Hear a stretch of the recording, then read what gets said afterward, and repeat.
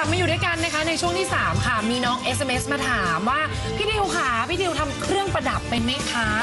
นี่นะอาถามดิวโดนถามแบบนี้ทำไงเออคนมีฝีมือทำไมจะทำไม่ได้ดิวบอกมาเลยนะคะ ว่าอะถ้าน้องๆรีเควสอยากได้สร้อยคงสร้อยคอแบบนี้พี่ดิวจัดให้จัดให้นะ จัดให้แล้วจะเก๋แค่ไหนต้องให้น้องดูเองค่ะดิว จ้า สวัสดีครับ อยู่กับผมดิวอรุณพงศ์ในช่วงนี้เลยนะฮะ Idea for you วันนี้เนี่ยเราจะมาทำเครื่องประดับครับ ผมแต่ว่าเครื่องประดับที่เราจะทำนั้น เราจะทำมาจากนี่ฮะ ดินสอสีอาจจะงงอาจจะสงสัยนะว่าดินสอสีนี่มันสามารถทำเครื่องประดับได้ยังไงทำได้ครับผมก็ไปหาดินสอสีมานะครับ ผมดินสอสีที่ไม่ใช้แล้วก็ได้นะครับ ผมที่มันกุดๆสักประมาณเอ่อ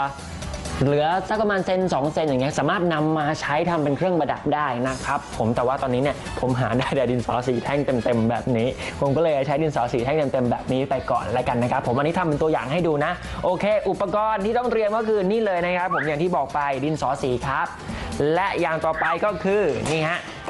เลื่อยนะครับ ผมเอาไว้สำหรับเลื่อยตัวเจ้าดินสอเนี่ยนะครับให้เป็นชิ้นๆนะฮะแล้วก็นี่ครับตะไบตกแต่งขอบนะครับ แล้วก็ต้องมีสว่านสำหรับเจาะรูครับ นี่ แล้วก็เชือกสำหรับร้อยเป็นสร้อยคอครับผม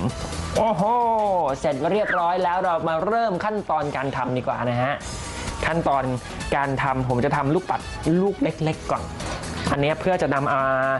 ร้อยให้เป็นเส้นๆเหมือนลูกปัดกลมๆทั่วไปที่ เขาขายกัน แต่ว่าอันนี้เนี่ยเราจะทำเป็นลูกปัดจากดินสอเราก็สักประมาณเลื่อยออกมาเป็นท่อนๆนะครับ ผมสักประมาณท่อนละ 1 เซน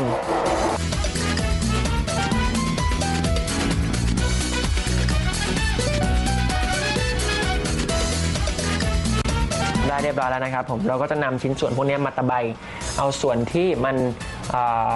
เป็นเสี้ยนออกไปนะครับตกแตงขอบซะเอาให้เนียน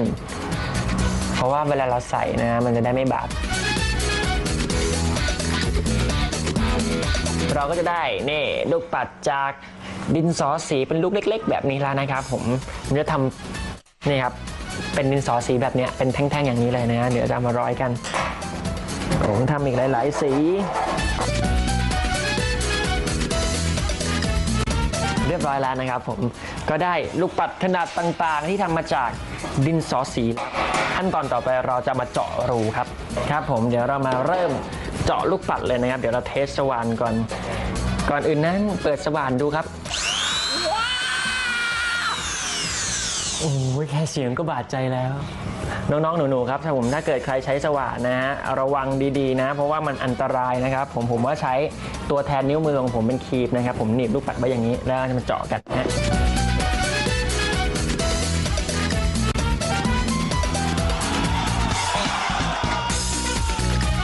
อย่างนี้เลยสามารถร้อยเชือกลงไปได้นะฮะแบบนี้ และทำไปเรื่อยๆนะครับทำสักประมาณ40ถึง50 ลูกก็ได้นะครับ เอามาร้อยเป็นสร้อยนะ เดี๋ยวผมจะทำเจ้าตัวนี้ด้วย อันนี้นะครับเป็นดินสออันใหญ่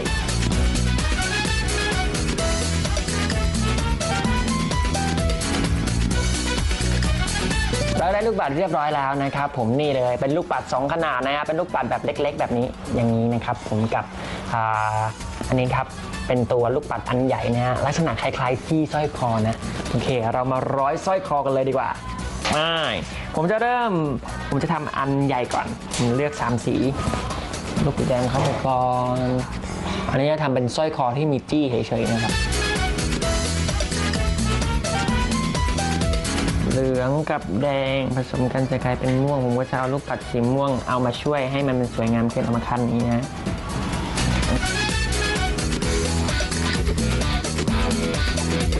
ได้แล้วเป็นสร้อยคออย่างนี้นะครับ ครับ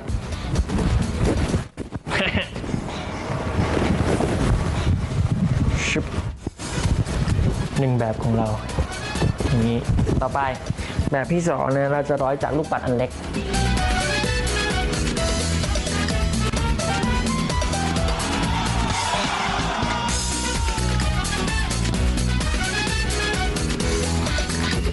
เรียบร้อยครับ ผมเราร้อยลูกปัดเรียบร้อยแล้วนะฮะเดี๋ยวก็จะมา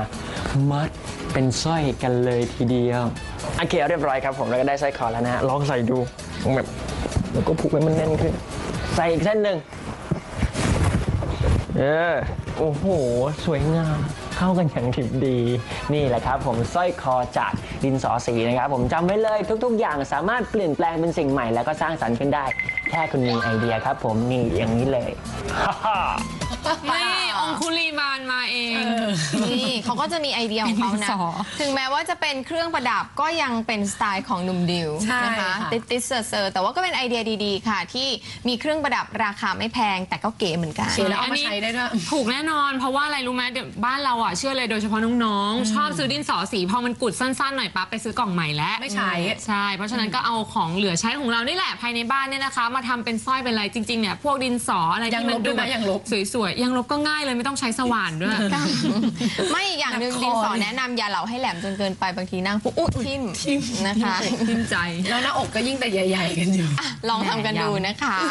เดี๋ยวช่วงหน้าค่ะ เราจะพาไปพบกับ เรียกได้ว่าเป็นเรื่องราวดีๆ เป็นการส่งสายสัมพันธ์ดีๆนะคะจาก